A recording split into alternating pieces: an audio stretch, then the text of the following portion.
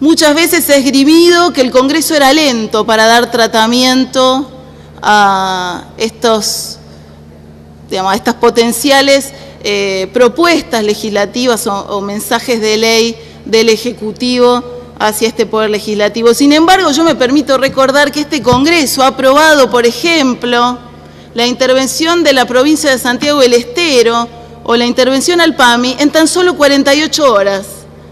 Con lo cual, achacarle lentitud al Congreso es verdaderamente un argumento falso y de toda falsedad.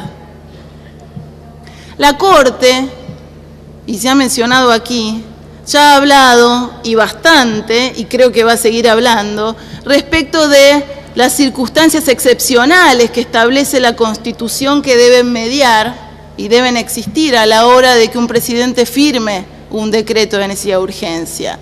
Y si también estudiamos y repasamos, como lo han hecho muchos colegas de la ciencia política y especialistas en el funcionamiento institucional, los contenidos de los decretos de necesidad y urgencia, nos daremos cuenta que en su gran mayoría no han existido las circunstancias excepcionales que nos establece la Constitución Nacional.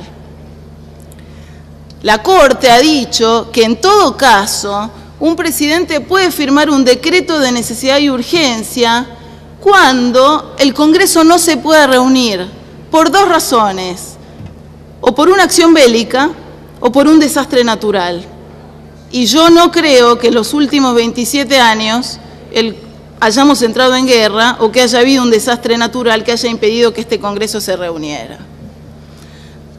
Presidente, cuando, y esto es importante decirlo, cuando un presidente firma un decreto de necesidad y urgencia, no solo está perdiendo poder, a pesar de que cree que lo tiene, está siendo más autoritario. Cuando se firma un DNU, hay menos democracia. Cuando se firma un DNU hay menos deliberación en esta casa, en este ámbito.